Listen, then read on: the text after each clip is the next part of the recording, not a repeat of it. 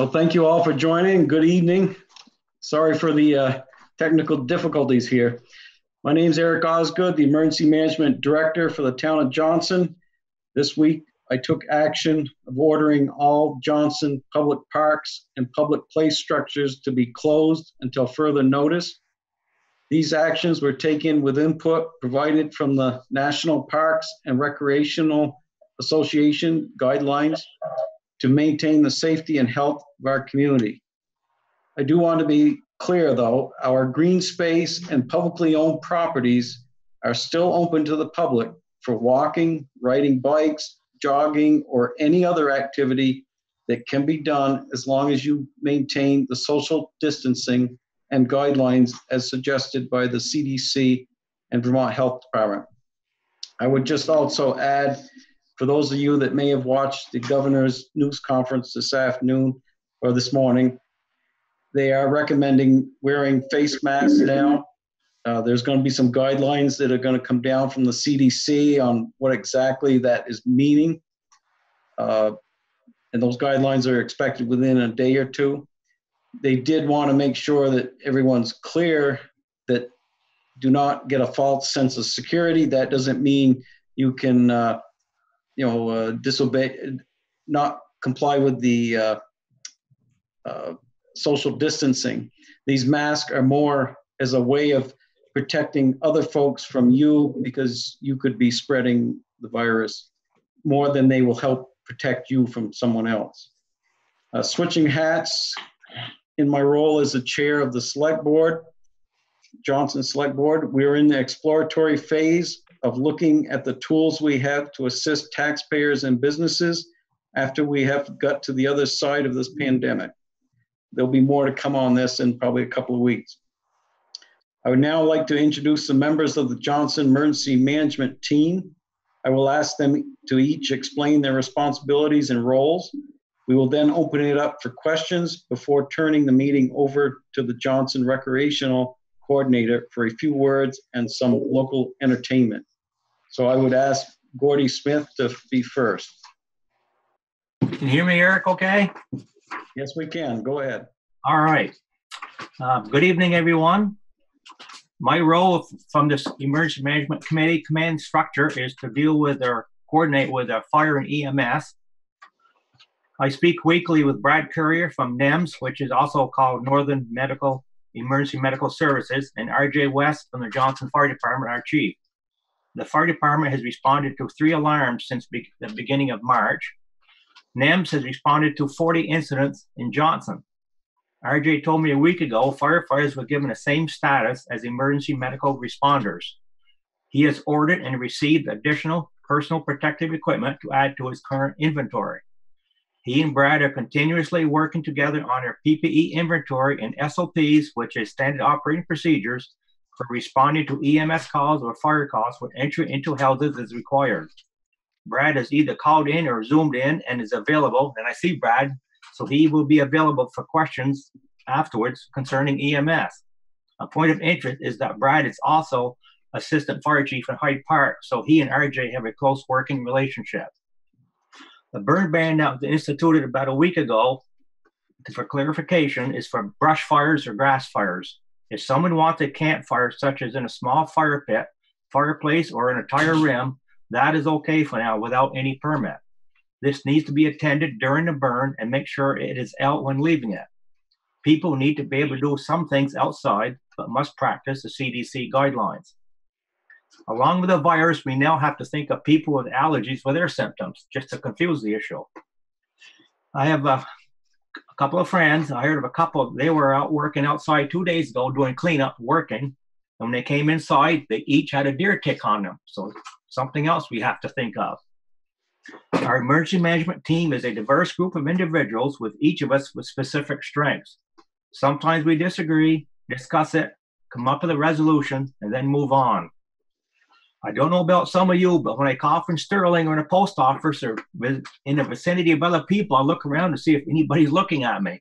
I'm learning that a lot of people cough without knowing it, but that doesn't mean they necessarily have the virus.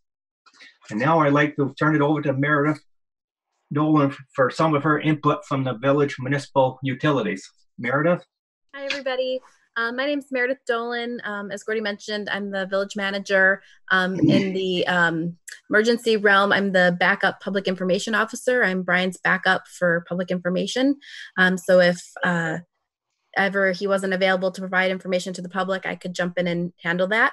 Um, my day-to-day duties, as Gordy mentioned, relate to the village uh, utilities, so the electric department, uh, water and sewer department.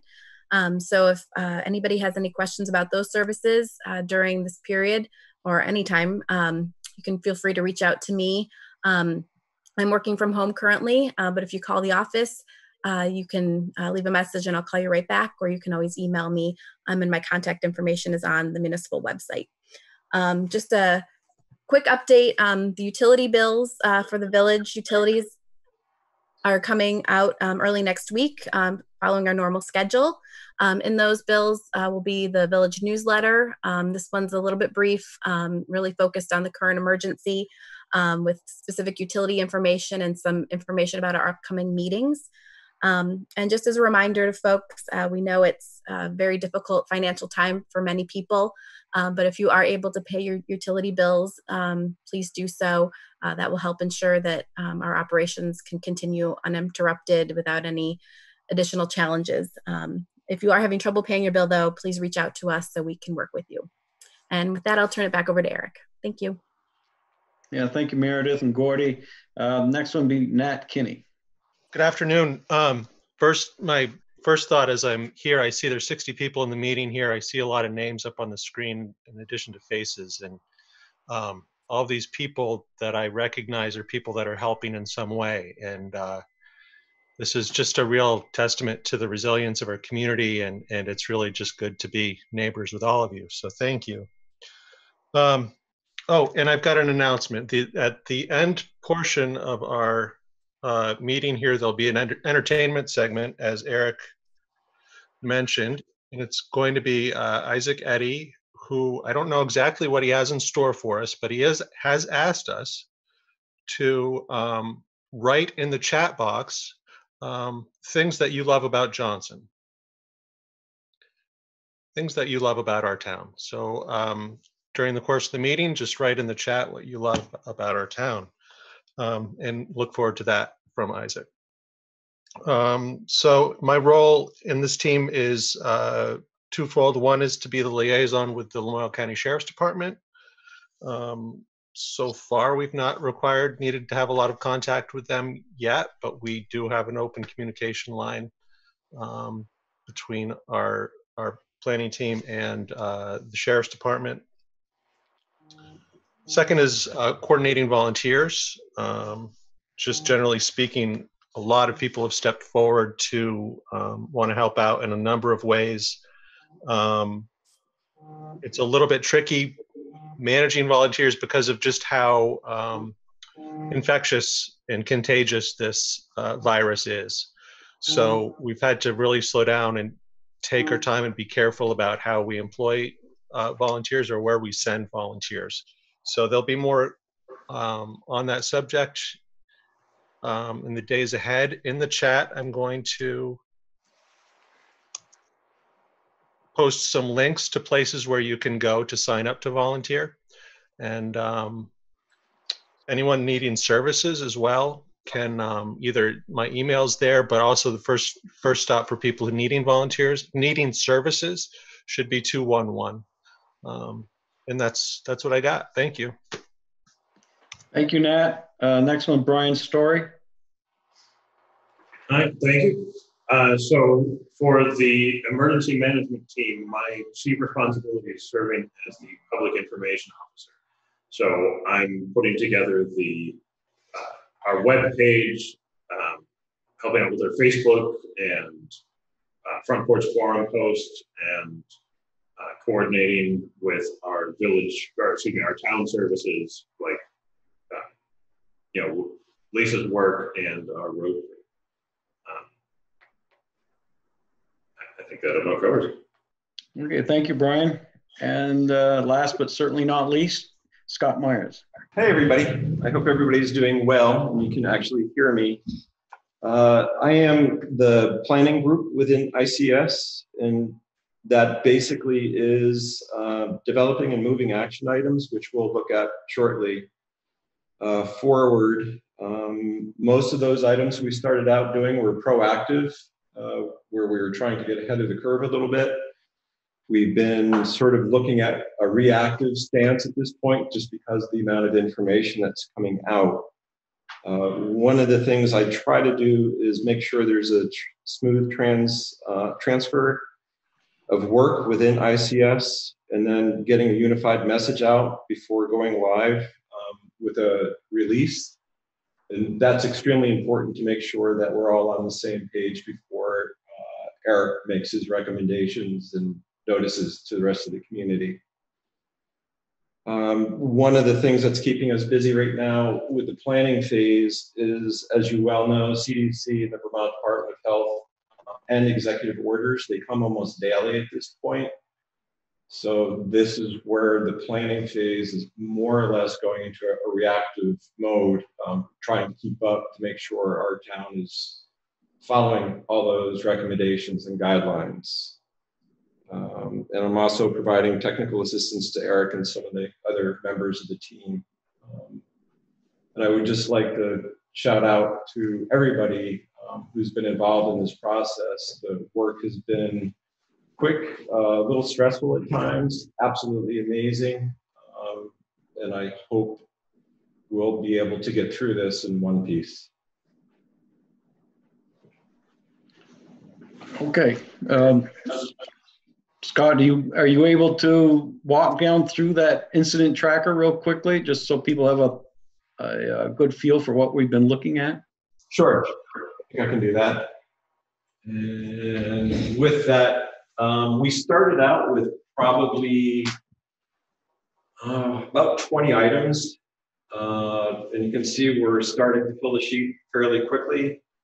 Um, obviously, when we went into this, we were worried because we had such a wide uh, net cast for so many different populations in our community. And that, that sort of revolved around the Northern Vermont University and the Vermont Studio Center. So they were the first ones that we put on our list. Um, getting an idea of what their population was, what their concerns were, were they going to be able to stay open? And as we know today, they are both closed. Um, and we have in column four, people who have been assigned to some of these tasks, sort of running through them. Um, I'm not going to get into the thick because we would be here for a full hour and I don't want to do that. But if there's something of uh, you want questions on, feel free to speak up when I get through them real quick. So, uh, fire department, EMS, for obvious reasons, the veterans uh, nursing home slash veterans up on 100 C, the convenience stores, Sterling Market, food security, Johnson Farm and Garden because it's our local hardware store and we rely on those folks, especially for the town and the village employees. Public outreach and social media, um, how we're basically getting the word out to our community members what the town and village is up to. Uh, postponing town and village groups, this has been a little difficult because we have rules that we have to follow for open meeting laws. That has been addressed finally. Uh, food security, making sure we have good, healthy food still coming into the community. Web access for students, and this is a lot of people who have been working with this. Um, from our library to the elementary school to core members of our team.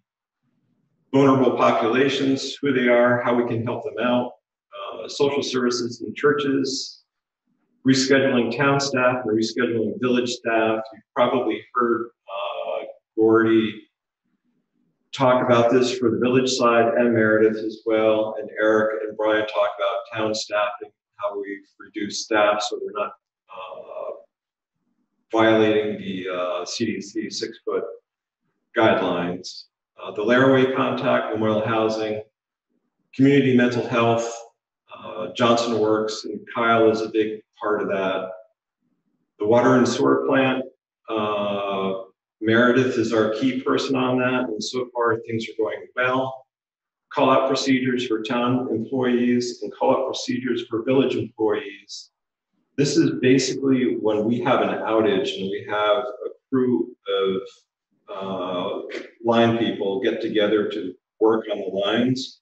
We're trying to track how often they need to break that six foot distancing, the social distancing. And there's just some things that happen where they have to be in close contact. And we're trying to track that the best we can and maybe modify uh, our procedures in the same breath. Volunteers and nonprofits, uh, Nat has been doing amazing work on that. Um, there's a lot of organizations, and we're trying to stick with organizations to spearhead volunteers' efforts in our community. Uh, volunteer safety, and this dovetails right in with that. We really want to make sure that volunteers who are reaching out to people who need help are not going to be exposed to COVID 19. We want to make sure the people that they're helping are not exposed to COVID 19. So it's a, bit of risk assessment for both parties. Flood risk and response uh, assessments, that's an Eric and Gordy one. Um, we're still watching that very closely. Uh, again, dovetailing into that is identifying shelters. We sort of were thinking about this, and this is work from Gordy and Eric, doing the, the big picture of what happens if we have a fire and we need some place to shelter uh, community members. And Johnson Elementary School at this point has stepped up, um, and NVU is possibly a secondary uh, place, and we are looking for a tertiary uh, building as well. Shelter in place orders, this is going to be constantly changing. You've probably heard the governor re, redo the executive order. I think he's on number eight. I might be a little wrong on that. Seven or eight. I think eight's coming around the corner. Um, on what exactly that means for sheltering in place. And today I actually heard 10 miles if you need to drive somewhere. Otherwise, you know, stay on your property, go for a walk, get outside, but uh, don't don't crowd up with a bunch of other folks. Update on the open meeting law. I think that one's finally done. Um, so on Monday we'll put that as monitoring. The skate park, uh, really unfortunate, but as Eric said, we're taking guidelines from some of the other organizations that deal with parks, and this is not unique to Vermont. Uh, we have family out in Colorado who are going through the same thing as we speak, with their parks being closed down. The food shelf, again, food security, same issues. We worry about the folks who work at the food shelf for getting exposed to COVID 19, and we also worry about people picking up food. So we have a policy put in place that follows CDC guidelines and a few other guidelines to make sure that that risk is uh, mitigated. Community uh, conductivity, um, this is a big one, has been for a long time in Johnson. We're doing the best we can with what we have. And the solid waste transfer station, we've been reduced down to Johnson and Stowe. Stowe. So we might have more traffic up on that side of town, um, getting rid of their solid waste and recycling. So if anybody has questions on any of the detail, I'd be glad to jump into it real quick. Hey, Scott, just a real quick question, uh, remark on the solid waste trans, on the transfer station.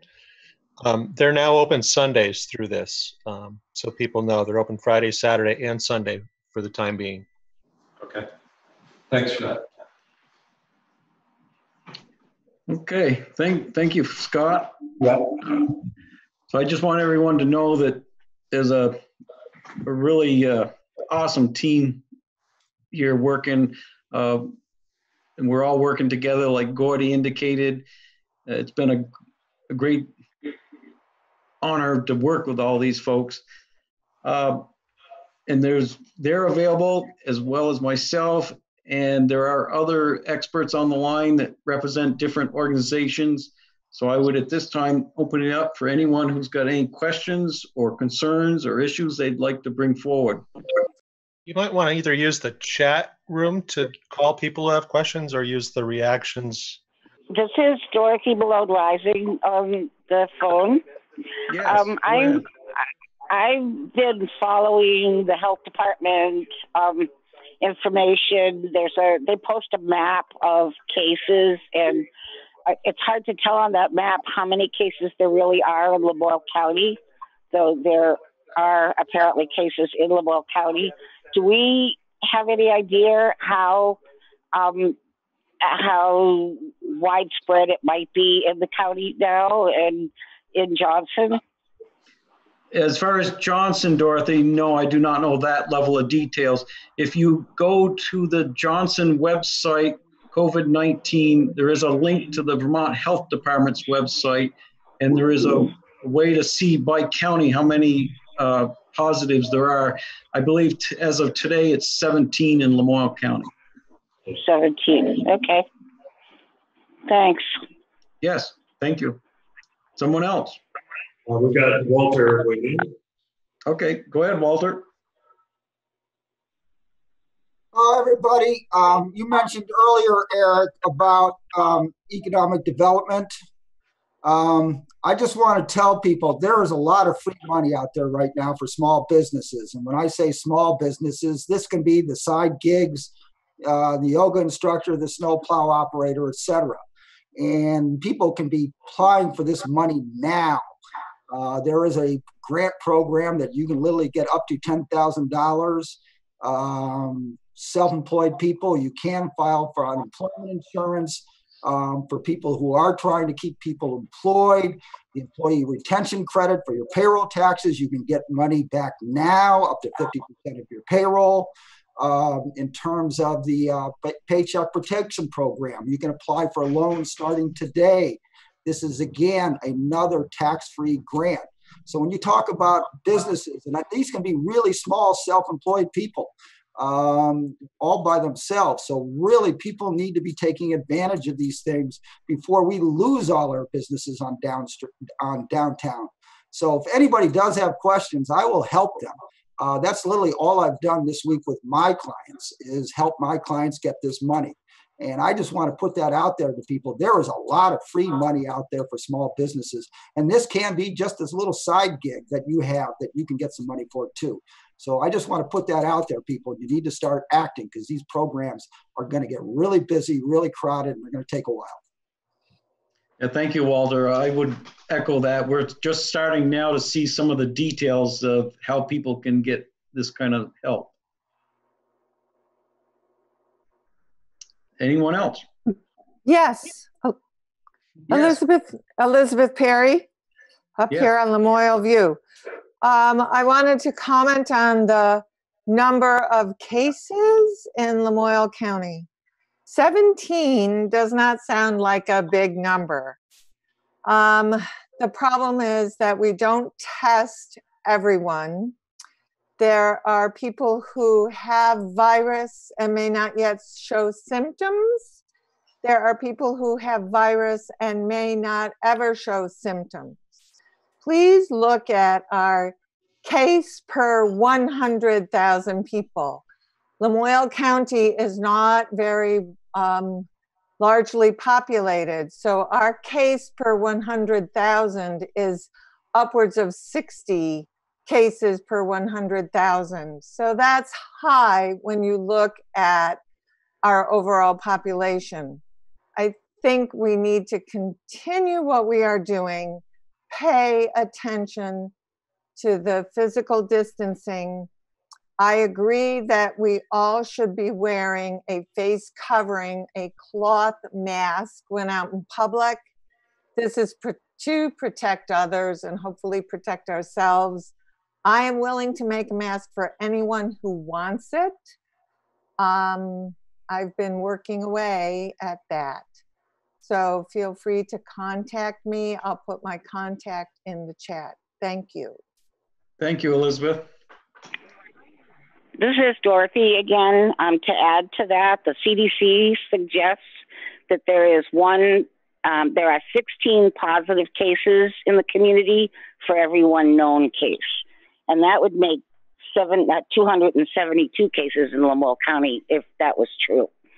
So uh, to echo what was just said, um, th- there are people walking around that don't even know they have it and don't mean to cause any spread in the virus at all. But we all need to be aware that this virus is incredibly virulent. And um, I, I posted on my Facebook page today something that came from a website called Medscape. It's a site that many medical people use, and there's a 12 slide slideshow on there for anybody that wants to look for it. And it talks about um, where this virus will stay on surfaces on paper for up to four days, which caused me to think about how I handle my mail. Um, it they found it in the one of the cruise ships where after a room had been empty for 17 days, they were still able to find virus on surfaces in those rooms. So, hand washing, keeping your hands away from your face, being extremely cautious about everything you touch, everything you handle. Um, I made bleach wipes, could not find Clorox wipes anywhere. I took a package of baby wipes and mixed a one to nine part solution of bleach and poured it into the baby wipes so that I have my own Clorox wipes and I carry them with me everywhere. I I wipe every door handle in the building. I'm now living in a public building, and um, we we can't be too cautious about this virus. That's enough from me. Thank you, thank you, Dorothy. Um, it sounds like a reputable uh, organization you're referring to. I would just caution everyone: there are some scams out there. The the attorney general has has warned of that that have already popped up. The, as far as the town, we are taking all of our direction from the CDC and the Vermont Health Department. But just be aware there are some out there that may not be exactly accurate. Uh, anyone else? Yeah, me again, Elizabeth Perry. I'm sorry to uh, pipe in again. Um, virus detected on a surface is much different than the infectious property of that virus. While the virus may be detected um, on steel up to three days later on paper, yes, it may be detected, but how virulent is that virus? Let's not drum up unwanted fear. Let's be smart. Let's follow guidelines Physical distancing, yes, masks when in public to protect others, and hand washing, hand washing, hand washing. The nurse has spoken. Thank you. Thank you again. And I, I would once again just reiterate, we're taking our uh, direction from the CDC and Vermont Health Department. Uh, anyone else? Hi. Uh, Charles, go ahead. Uh, just wanted to say there's uh, one substance people really aren't pushing that they can use, and that's alcohol. It's 90% alcohol. The other 10% you don't really want on your skin, but that means that you know people really aren't grabbing it. It's still around in the hardware stores. You can spray it on door handles. You can spray it on boxes. Kills uh, uh, kills COVID 19 in about a minute. I back to that mask issue. Uh, I mean, it's nice that people are volunteering to make them, but uh, I mean, everybody in the entire country is going to be after them. I was wondering if there's any uh, uh, any kind of initiative that could be gotten going locally in regards to that particular issue. And I'll just say that uh, the state is looking at that as well. In their conf- uh, uh, news conference, the governor had they are still waiting for the CDC guidelines on exactly what the mask should be and what the protocol should be. And once those come, the state will take the lead on it, and then uh, there could be some opportunities for other folks to make masks, but that has not come out yet. Go ahead. Valerie Zucker from the Department of Health. We're having a hard time hear me? I'm sorry. There, we can hear you now. Okay, I'll keep the phone close to me. Um, so I just wanted to say that on the, the Vermont Department of Health website, they have changed their message about wearing masks. Um, and it says here that, you know, please wear masks or cloth masks or covering when you are, when you leave your home for an essential purpose. Um, and you can read more of that. It's under, um, the COVID section and it's under, um, how, to, um, how can I protect myself? Um, and I just want to, to emphasize, I, I think um, there are some um, patterns out there for making masks, and that's that's all great. And I think um, my mother, for one, is making those. Um, and I do want to say that I've heard it before, and I've actually observed it today when I was in the grocery store and someone had a kerchief over their face. They kept touching their face to adjust adjust the kerchief. So keep that in mind. That um, just because you have a mask on, still, you know, you don't want to be touching your face. Keep keep those very um, those constant um, practices of washing your hands, not touching your face, um, just being um, with those things. That's it. That's all for now. Okay, thank you, Valerie. It was very difficult to hear you, but I think we got most of it. Uh, the wearing the cloth masks. There's a COVID section of the health department's website that you can find this information on and protecting yourself. And I think everyone heard most of it. I think I did. Thank you. Anyone else? Yeah, just um, a heads up too, when we're using our um, Clorox products, especially when we're trying to make our own concoctions, just remember that Clorox is really incompatible with so many different chemicals. Some cleaning chemicals will react with Clorox pretty violently. It'll kick off a, a free radical of chlorine, which could make you extremely ill, if not burn you. So before you start adding Clorox to other cleaning products, please make sure you're not creating something chemically that's going to be worse than virus. Thanks. If I'm not hearing anyone, I would turn it over to Lisa. Thank you. Thank you, everyone, for joining in for this part. And now please stay for Lisa Cruz, a recreational coordinator, and some words that she's got with programs that are going to be coming out or are already out. Go ahead, Lisa. Thank you, Eric. Hi, everybody. Thank you guys for hanging in there through this meeting, and please stay till the end. We're going to have some entertainment. Um, we at Johnson Recreation are trying to think of things that we can do at home um, when we're all sheltering in place. Unfortunately, we've seen the parks close, and just prior to this meeting, we saw that the Long Trail and the Catamount Hut system and all these places are also starting to shut down. Um, so we've made some updates to our website. It's johnsonrecreationvt.com, and there is a tab on their community activities. So some of the closings and things like that are on there, but we also have some positive initiatives we've come up with. We're doing a teddy bear hunt. So people in town have been putting teddy bears in their trees and their windows, really getting creative with it.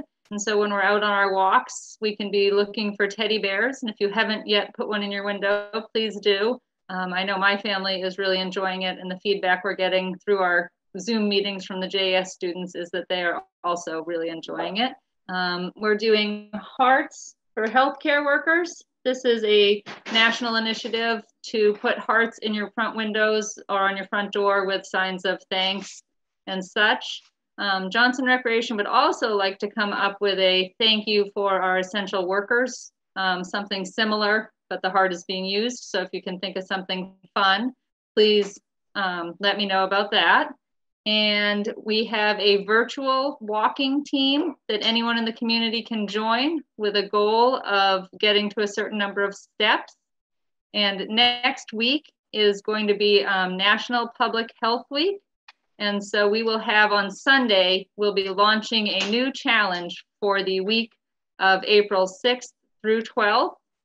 Um, so check out johnsonrecreationvt.com and then there's a community activities link that you can go and sign up for um, different things that we're doing and it'll give you information on stuff that we are um, working on and new stuff every day. All right, so for our entertainment this evening, we have um, our very own Isaac Eddy. He is a theater professor at um, Northern Vermont University, and he is going to do some songs. He said a few songs to hopefully lift our spirits. Hello, Isaac. Hello, thank you so much. How, how do I sound. Does it sound okay?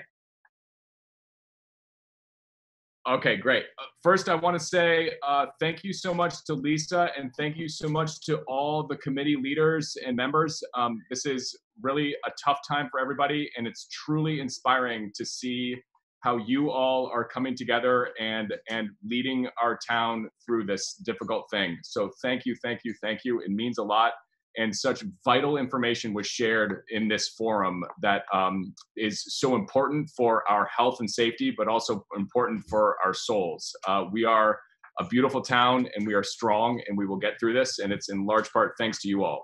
And um, I'm just so happy to be able to, to sing a couple songs. Uh, it's going to be very short. I have um, my kid Hero here to, to sing with me too. And uh, the first thing I want to do is just very briefly sing the chorus to Lean on Me. Bill Withers uh, just recently passed away and he is incredible. Um, so if you all want to keep on mute, but please, please sing along with me. Lean on me when you're not strong, and I'll be your friend. I'll help you carry on and full. It won't be long till I'm gonna need somebody to lean on. And that is more important now than ever before. Okay, so for uh, after that, I would love to sing a song by Matisyahu, and this is called One Day. Uh, please, if you don't know the song, I highly recommend you to check it out on YouTube and play it um, on repeat. It is a very uh, important, uplifting song um, for everything that we're dealing with right now. Sometimes I lay under the moon. I thank God I'm breathing. I has to not take me too soon, cause I am here for a reason. Uh, we we uh we did it the wrong. I started in the wrong way. Some sometimes I lay under the moon. I thank God I'm breathing. Okay, here we go. Ready? Sometimes in my tears I drown, but I never let it get me down. Cause when negativity surrounds, I know one day it'll all turn around because all my life I've been waiting for, I've been praying for, for the people to say that we don't want to fight no more. There'll be no more war, and our children will play one day, one day, one day, yeah. Oh, oh, one day, one day, one day, yeah. It's not about win or lose, cause we all lose when we feed on the souls of the innocent. Blood-stained pavement, bodies keep moving, but the water stay raging. In this maze, you can lose your way, your way. But don't let it phase you, and don't drive you crazy. No way, no way. Sometimes in my tears I drown, but I never let it get me down.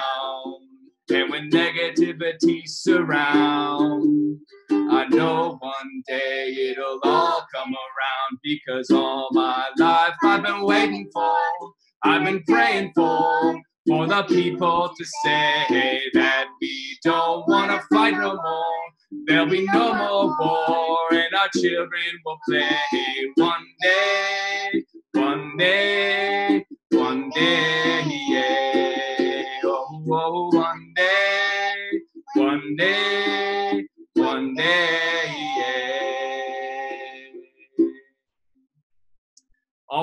And so for the uh, last song tonight, um, I wrote a very, very simple um, chorus for our town, and um, I'm going to fill the verses improvised with uh, the list of all the amazing things that you all put in the chat of things that we love about our town because there are so many things. They could never even fill just one song, but I'm going to try.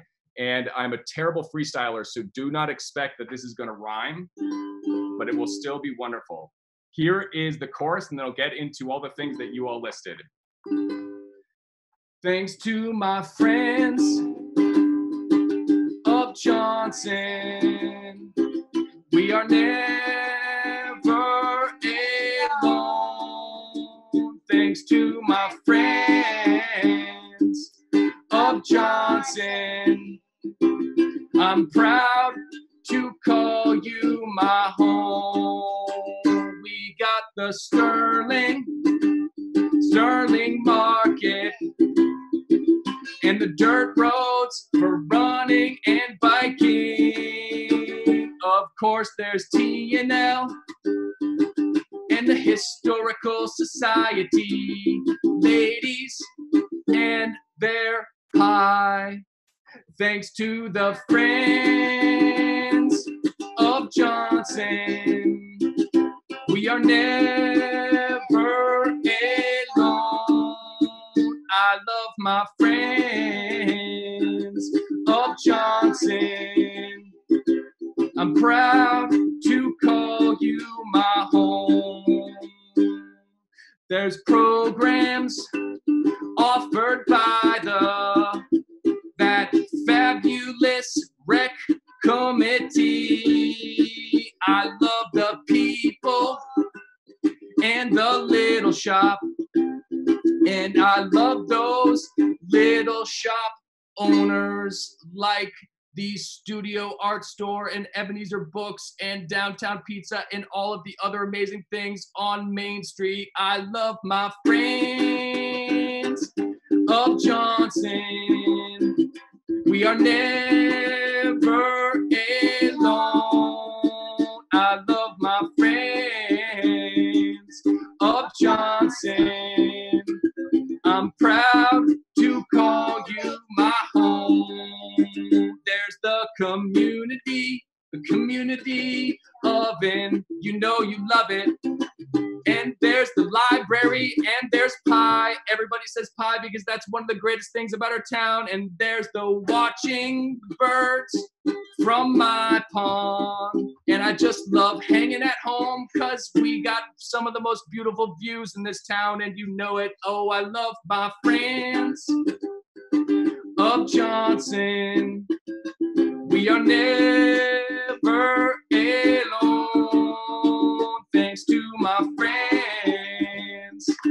Of Johnson. I'm proud to call you my home. Of course, there's Mill Park and Ebenezer Books, and there's that beautiful covered bridge that's on the way to the elementary school that I almost always drive here late to, but I still love it. And there's also downtown pizza, and there's also the Vermonster. Is that the uh, the old school Ben and Jerry's thing? That's just like the giant tub of all the pizza. I hope it is because that's what I ate in the '90s. And if it's still around, that's awesome because we are the friends of Johnson, and we are never, never, never, never alone. Thanks to my friends of Johnson. I'm proud, so proud to call you my home. Of course, there's Johnson Farm and Garden, where I go every week. And there's potty hole, potholes and spotty internet and service and positive attitudes.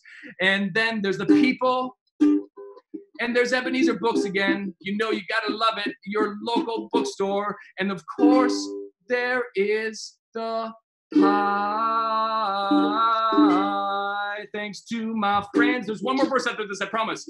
Of Johnson, we are never alone. My friends of Johnson. I'm proud to call you my home. There's the Gihon, that beautiful Gihon River. And there's NVU, that's my meal ticket, but there's more things that's important than that. It's also a very important community thing. And then there's Journey's End, beautiful Journey's End, and there's the rail trail. And there's hockey, so much beautiful hockey, thanks to Brian and Jasmine building that skating rink that offered so many beautiful things. And the last thing I'm going to say before I do one last chorus is hand washing, hand washing, hand washing. Whoa, just wash your hands and stay calm and be smart. Wash your hands. The nurse has spoken. Thanks to my friends, oh, of Johnson. We are never alone. Thanks to my friends of Johnson. I'm proud, so proud to call you my home.